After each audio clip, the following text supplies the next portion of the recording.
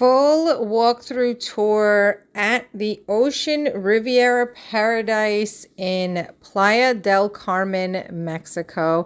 So what is going on guys? Welcome back to my channel. I recently just stayed at the Ocean Riviera Paradise all-inclusive resort here in Playa del Carmen and I had an amazing time. So I wanted to do one of kind of my most viewed videos and that is the full walk-through tour of the Ocean Riviera Paradise. I started doing this um, type of video because I would go to all these resorts and I would spend the first couple of days lost trying to figure out where I was, trying to figure out where things were.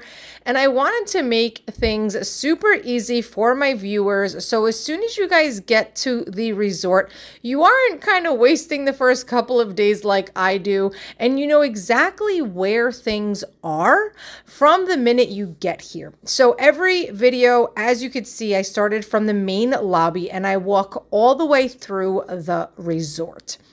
Right now, we are in also the main bar area, which was honestly my favorite place to kind of sit and hang out. It was a fully stocked bar. This is a five star resort, so they also do have a lot of top shelf liquor, which I really, um, you know, enjoyed. Obviously, if you're at an all inclusive. So, the layout of this resort is kind of almost like a straight shot to the beach, if you can kind of mentally um, think of it that way. From the main lobby, you are literally just going to walk all the way straight down, and you'll see in this video exactly what I'm talking about. But because there is so many things to do here and so many different restaurants, this tour is still going to be useful for you so you know exactly where everything is. So as soon as you get past that main uh, lobby and the main uh, bar, to the right, you are going to see the spa and the salon, which I am labeling a lot of stuff.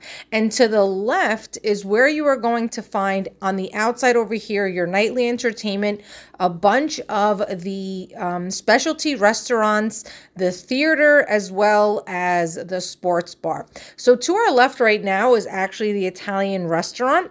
And then to the right, right over here is Mike's Cafe and also an ice cream parlor. So I really liked Mike's Cafe. The coffees were really great. And they all day long, they're open from 7 a.m. until 11 p.m have uh, donuts, sandwiches, paninis, muffins, croissants, uh, cupcakes, so many really yummy uh, sweet treats. And again, the coffees were really great. They also had iced coffees, they had frappes, so there was a lot of stuff. So this main strip here to the left is going to be another restaurant. And then to the right, as you saw, there is a game center where, um, you know, the teens can go and the kids can go play some games. I am going to be doing a full video about all the amenities for the kids. So stay tuned for that. Make sure you are subscribed and liked. And then over here to the right is where you are going to find any of the um, stores that you might need.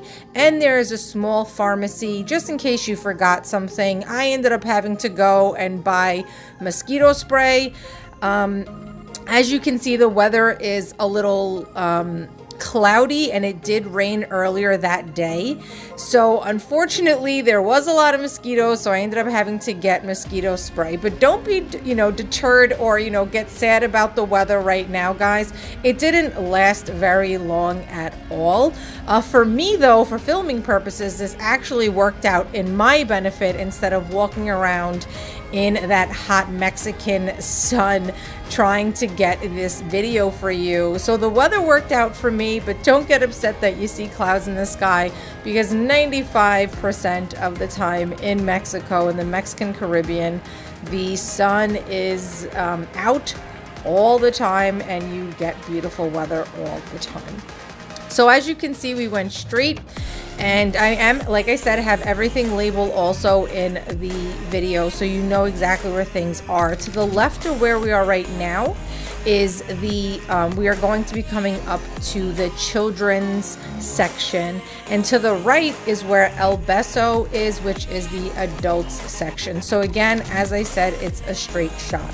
Now, the thing that I didn't really realize when I first um, booked the resort was that everything has different sections um, when it comes to the buildings and certain and specific amenities. So, the main buffet and all the main uh, specialty dining restaurants and the cafe that we passed and the ice cream parlor and all that other stuff everyone has access to. But each specific um, section or building is completely separated from one to another. So on the left right now is where Daisy is, and that's where the kid-friendly um, section is, has a lot of kids amenities. And then to the right is El Beso, which is the adults only section.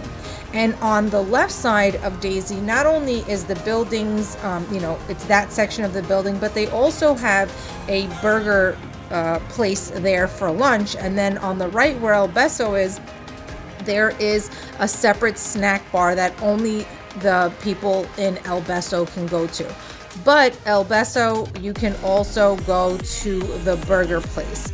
I am going to be making another separate video about the El Beso adults only um, section, the amenities that you get, and why, if you're only adults only, the upgrade might be beneficial for you. I ended up doing the upgrade and I also got the swim up. I am doing separate videos for that. So, again, make sure you are subscribed if you are interested in finding out about those amenities. So, but that is one thing that I didn't really know before I booked is that it's an entire resort, but within the resort, each section um, and each building is separated. So it's not just one giant, um, you know, building with all the rooms that I have um, been to and on top of it each separate section having its own pool having its own amenities having its own little snack bar or food which i mean i did actually like for the simple fact because this resort is so big um, you know, it's nice to not have to go too far because as you can see here, there is a trolley that will bring you all the way from the front to all the way down to the beach or anywhere else that you'd want to stop by. I do want to say though that the trolley was very slow getting anywhere and it's almost like how are you lost or where have you gone? I was waiting like 15 20 minutes for the trolley at one point and at I I ended up walking because for me the time that I was just spending there waiting for the trolley to get there I ended up taking that same amount of time to get to where I wanted to go. But I understand if you're tired, you know, if you're uh, uh, older, if you're older, excuse me, if you're pregnant, stuff like that, if you have an injury, you obviously cannot walk the entire resort every single day. So that still might be beneficial for you to wait for the trolley. For myself, I am able bodied and I was able to walk, so I ended up doing that. That was probably my one kind of little pet peeve though is times where I was just really like hot from the sun and wanted to jump on the trolley. Uh, you know, it does take a very long time, and that was one complaint that uh, I kind of was uh, hearing quite often from from people. So right now we are actually past El Beso. To the left, which again I have things labeled, was the premier exclusive section. Right now, this is another section where there is the specialty dining. You will find the steakhouse, you will find the Mexican restaurant, and then you will find terraza, which is like a live dining experience. I ended up not being able to make it to terraza. I really wanted to.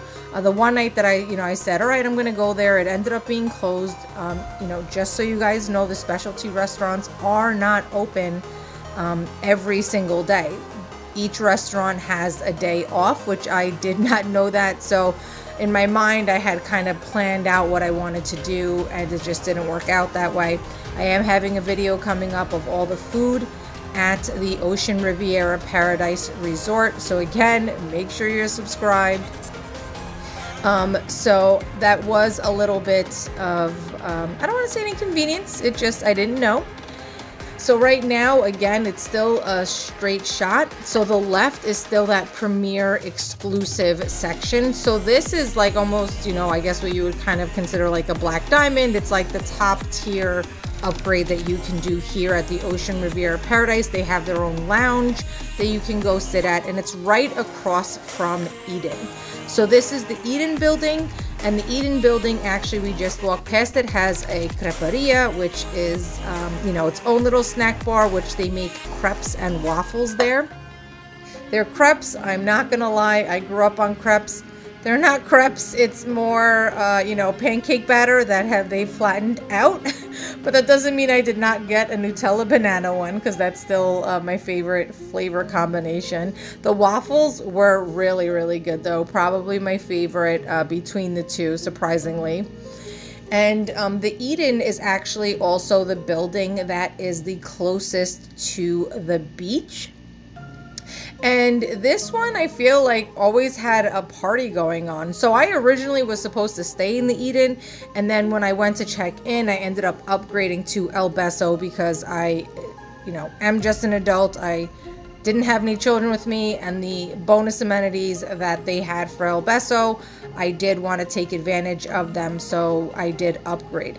But Eden, after I had walked past it and I saw that it was the closest to the beach, it and that it always had you know a party or something going on over there. Uh, the entertainment I felt like was really great at the Eden. Um, you know, I kind of did second guess myself about that if I should have or not. As you can see now, I've been walking for a while, um, you know, and the trolley just made it back now. So again, it, the trolley does take a little bit of time. I really loved the beach section here. Um, you know, for the simple fact that it not only has a beach, obviously, but they actually have another pool here. So this was like a really, really nice surprise when I got to um, the beach. And it's not, you know, anyone can come to this pool. You don't have to be part of the premiere or, you know, only be in the El Beso section anyone on the resort had access to this pool, which was really, really nice. Um, and, you know, everyone was playing volleyball and it just seemed like a really really great time and there's definitely enough seating area here at the beach which i really uh, you know appreciated as well a lot of the times when you come to these resorts there's not that much seating area at the beach. People are leaving their towels from early in the morning, which I do want to say at um, the pools, they do do that. So just a heads up, if that's what you guys kind of want to do, make sure you put your towels down kind of early. I understand why they do it. It's just, you know, if that if you're not accustomed to that and then you wait until after breakfast, you're never going to get or you know, you're really not. You're not going to even get a a chair by the pool. So I did like that there was a lot of um, beach chairs and stuff. And on the pool, they have beach chairs and umbrellas on each side of the pool on the beach. So on the right side and the left side. Right now, we are walking towards what would be the left side of the pool once you get to this section. And there is also a restaurant that is right on the water. It is the seafood restaurant, and that is one of like the best views you can get. It is right on the water, as you can see. You can see the people ahead sitting down. So you have ocean view and eating seafood. So that was really nice. And this is the end of the tour. We have come from the start until the end, and now you know where everything is. Thanks so much for watching, guys. Please like, subscribe, and I will see you soon.